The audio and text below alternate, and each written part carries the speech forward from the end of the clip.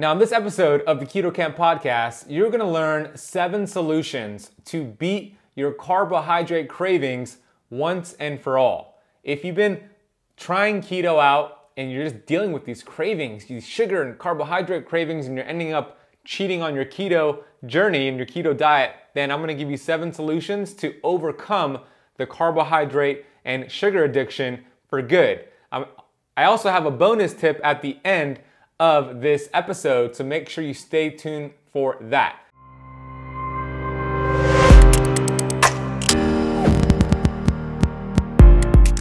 Before we get into the seven solutions, I want to introduce myself here. My name is Ben Azadi. I'm a certified functional health practitioner, best-selling author of three books. I'm on a mission to educate 1 billion people. Dealing with sugar cravings are not fun. Speaking as a former sugarholic myself, snackaholic, carboholic myself, I used to be obese. I don't know if you knew that about me, but I was obese for most of my life.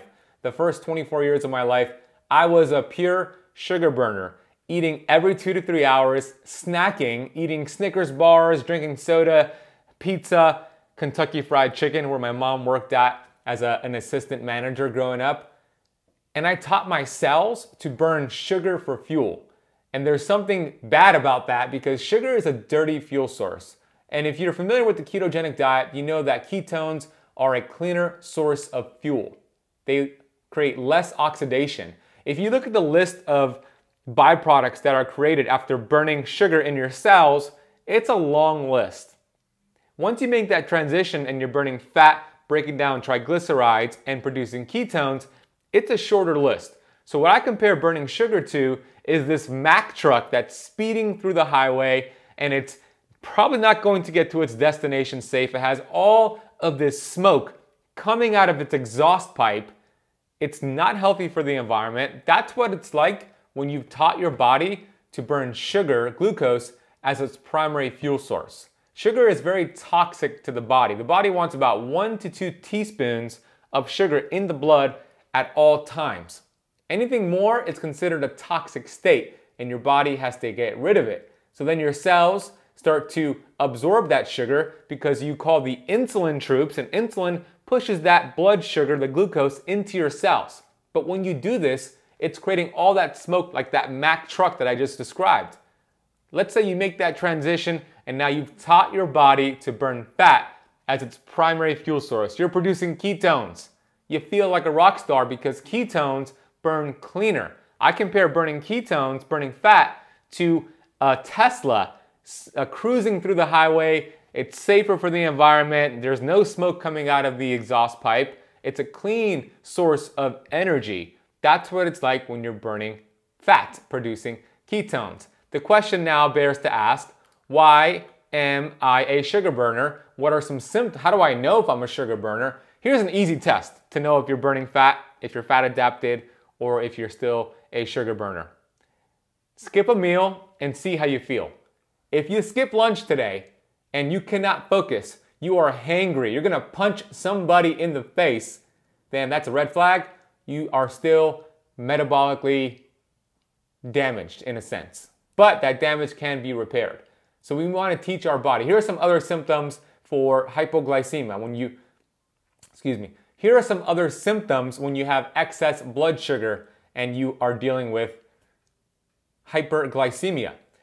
Sores that won't heal, blurry vision, excessive urination, fatigue, excessive thirst, and it's estimated that 25.4 million Americans have diabetes. 60% of Americans have diabetes or prediabetes. That's insane. That's a lot of Americans. So let's get to the, some solutions here for you to tackle these sugar cravings once and for all. I'm gonna give you seven solutions here and a bonus. If you follow all seven, Awesome. If you choose one or two, you'll still get results. The point is for you to have this information and then take action with it. But you got to take action with it because action takers rule the world. You could have all the best intentions in the, in the world to get all this data and say, yeah, I'm going to do that. I learned this on the Keto Kamp podcast and I'm going to do it. But just thinking about doing it and not doing it, you don't get rewarded for that. The world does not reward intention, the world rewards action. So just saying you're gonna do something but not doing it is ineffective. It's like winking at a pretty girl in the dark. It produces no results. So I implore you to get this information and take action with it. The first tip here is cinnamon. You probably know this. I like Ceylon cinnamon. Cinnamon has an active ingredient called polyphenols. This activates your cell receptor sites and wakes up your cells by allowing glucose into the cell more efficiently. So it takes some of that blood sugar out of the blood, puts it into the cell more efficiently. Cinnamon has been used for over 4,000 years. It's high in antioxidants. It scored a number seven on the ORAC score, which is an antioxidant score. Cinnamon, uh, so many studies show that cinnamon helps with type 2 diabetics, the blood sugar of type 2 diabetics. Cinnamon for diabetes can help block the activity of several digestive enzymes to slow the absorption of sugar in the bloodstreams after a high carb meal. Many studies have shown that people with type 2 diabetes can experience significant positive effects on blood sugar markers by supplementing with cinnamon extract. And I have three studies that I'm going to share in the notes of this podcast and on this YouTube channel if you're watching on YouTube. I'm going to put that, those studies in the notes if you want to read those studies. But cinnamon has been shown to help with blood sugar. So if you want to consume cinnamon, I'm a big fan of Ceylon cinnamon and two teaspoons uh, before your meal, after your meal, just per day would help with your blood sugar. Second tip here for crushing those keto cravings is going to be fenugreek with trace minerals, iron, mag with trace minerals, iron, manganese, copper, and a variety of antioxidants, fenugreek is a wonderful keto herb. In a study published in the Journal of Diabetes and Metabolic Disorders, it was also observed that the control ground had a 4.2 higher chance of developing type 2 diabetes compared to subjects in the fenugreek group. In the fenugreek group. That means if they were not taking the fenugreek, they were 4.2 times more likely to get diabetes. So that's a great study there. I'm gonna put that in the notes. Fenugreek you could find at Whole Foods, you could buy it on Amazon, but add that to the mix. That's your number two tip here for beating these keto sugar cravings. The next one, number three, is going to be cloves. Consuming cloves can help stop sugar cravings as well. In a study 30 type 2 diabetics were given capsules containing 0, 1, 2, or 3 grams of cloves each day for a month to observe their serum glucose levels. Researchers of the study suggested that consuming 1 to 3 grams of cloves per day is beneficial for type 2 diabetics to better manage their glucose and total cholesterol levels. So, not just glucose, but cholesterol was optimized in this study. So one to three grams per day, that's what the study showed of the most benefit. So add cloves into the mix. If you have cloves in your kitchen, start cooking with it. That's your number three tip. Number four, ginseng. In several human studies, American ginseng lowered blood sugar levels in people with type 2 diabetes. The blood sugar lowering effect was seen both on fasting blood sugar and postprandial, which is post eating glucose levels. So, what I would recommend is drinking your ginseng tea before or after your keto meals, especially if you are deciding to cheat on a keto diet and you're going to have a high carb meal. Have the ginseng. That'll be some damage control. I like ginseng tea. Yogi makes a great one. Check them out. Uh, I'll put a link for them down below in the notes of this podcast and on this YouTube video. The next tip here, which is going to be the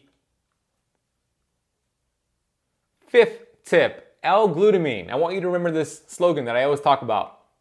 L-glutamine will help you wean. It turns out that there's a certain part of your brain that lights up when you are craving sugar and carbohydrates. It's the same part of your brain that lights up when somebody experiences a cocaine craving, a cocaine, a cocaine addiction, making sugar as addictive as cocaine in this comparison. So that part of your brain lights up. L-glutamine is great because L-glutamine powder helps calm that part of your brain that lights up with cocaine addictions and sugar addictions. So what I recommend to a lot of my clients who are just struggling to make that transition into ketosis because they're getting all of these sugar cravings is to take 500 milligrams of L-glutamine powder up to three times per day. And the one I recommend, I'll put a link for that one in the notes down below. L-glutamine is great. It's a, simply a powder you mix with water. You could also take it whenever you're experiencing cravings and it could, and it should, calm that part of your brain that's just going crazy telling you to go get sugar, go get food cravings. Another reason why somebody gets cravings, by the way, when they're in keto, when they're starting keto, is because they went in and they started doing fasting too soon. So that's a, a, great lesson right here. If you're if you're starting keto and you're going right into fasting right away, I would hold off on the fasting. I would do some work to develop that fasting muscle and then pair the fasting with it. Because if you're doing intermittent fasting too soon and your body does not have that metabolic flexibility to tap into its fat stores, the brain, which has been using glucose for how many years, so many years for so, for so many people, it's going to send a signal to the body to go get carbs and sugar to fulfill that glucose spike. And when you drop your glucose in the brain too fast, as what you do with fasting, and you don't have the capability to burn fat and produce ketones for the brain, you're gonna get cravings. So that's a little caveat for you. It's not part of the tips, but it just came up as I was going through these. Number six here is going to be sleep. This is a big one. Sleep is very important when it comes to managing your blood sugar levels, your insulin levels. When your sleep suffers, your blood sugars increase. Sleep deprivation can cause you to have the blood sugars of a type 2 diabetic. Remember, when you're chronically sleep deprived, insulin is jacked up because cortisol is jacked up. And you have this vicious cycle of food cravings, bad sleep, food cravings, bad sleep. So you want to make sure you master your sleep. I have a podcast episode all about sleep. I'll put that in the notes down below. But here are three supplements that I take and I recommend to my clients to help with sleep. Number one, Systemic Formulas DREM. It has low dose melatonin and other herbs to help relax you, valerian root. So DREM is a great supplement. Also, Calm from Systemic Formulas is another one. And I love magnesium. Magnesium malate helps calm the adrenals, helps calm the body, helps you get ready for bed. So I would recommend any of those three supplements and also listening to that podcast episode I did all about sleep. And I also have a book called The Power of Sleep on Amazon. It's a bestseller. You can get that today. So head over to Amazon and just type in The Power of Sleep, Ben Azadi. The number seven tip, and then I have a bonus for you. Number seven is going to be number seven is going to be master stress. Not manage, master stress. This might be brushed off by some people, but I believe it's the most important solution in this video. Love and gratitude are two of the biggest healers that we have in this world. You cannot heal a body that you hate. You could be doing keto perfectly, working out perfectly, but if you have hate, if you have resentment in your body, thinking negative thoughts, you cannot heal a body that you hate. So you got to practice self love. You got to practice gratitude. They are two of the biggest healers that you have. Here are some methods of mastering stress that I practice and I teach my clients meditation. You don't have to become a monk here, just any form of meditation that you'd like. You could just sit out on a chair and observe your breath. You could go by outside in nature and just walk right? Long walks are great. Deep breathing is also great. Grounding, walking barefoot on your on the Mother Earth with your bare feet. There's going to be an episode coming up on the Keto Kamp podcast all about earthing. That's a great way to master stress and bring down inflammation and help with sugar cravings. So I just gave you seven solutions. I have one more for you. Actually, I have two more for you. I have a bonus, two additional bonus tips for you. Number one is going to be a shot of apple cider vinegar before a carb rich meal or just have it as a morning tonic. Apple cider vinegar is great at pulling fat out of your liver, regulating blood sugar, helping with digestion. It's a fantastic product. It might make you gag a little bit. It's, it's strong. You want to make sure that you're maybe, maybe taking a shot and you have a chaser. But a shot of apple cider vinegar before a carb rich meal or just as a morning tonic is a great idea. I have something called the keto cocktail, which I talk about frequently. And if you drink this keto cocktail every morning, that could help with your blood sugar and your cravings. The keto cocktail is 16 ounces of high quality water with one to with one to two tablespoons of apple cider vinegar, a pinch of cream of tartar, and a pinch of sea salt. Mix it all together and drink that keto cocktail. That'll help replenish your electrolytes. And that'll help with blood sugar regulation and with digestion. That's a trifecta right there. The final tip, bonus tip for you, is to perform 50 squats before a meal and or after that meal, go for a 20 minute walk. When you perform 50 squats before a meal, you activate something called the GLUT4 transporter. We like the GLUT4 transporter because it takes that blood sugar from that meal, prevents it from spiking very high, and it helps it go into your muscle cells, your liver cells, and it uses it as energy, as fuel. So less fat storage, more energy usage. The same effect happens when you go for a 20 minute walk after a meal. It could help regulate your blood sugar. It could help bring your blood sugar down by 20% so you don't get that food coma crash that a lot of people get. So there you have it. I just gave you an arsenal of ways to master your blood sugar. Remember, when you master your blood sugar, you age gracefully. The more often you spike blood sugar, the more often you have blood sugar, blood sugar and insulin levels high, the faster you're aging. So I just gave you nine powerful tips to anti-age, to master keto, to get more results with keto and fasting. I wanna know on YouTube, what was your biggest takeaway? What was your favorite tip here from these nine tips that I gave you? Put it in the comment section down below. Make sure you subscribe to the Keto Kamp YouTube channel. And if you haven't done so already, hit the bell when you subscribe so you're notified when I release a new video.